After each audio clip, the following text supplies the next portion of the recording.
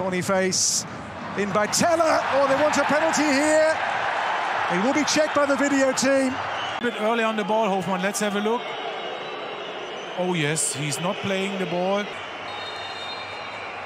For Leverkusen, this is Victor Boniface. Love it. They are on their way to the Bundesliga title this afternoon.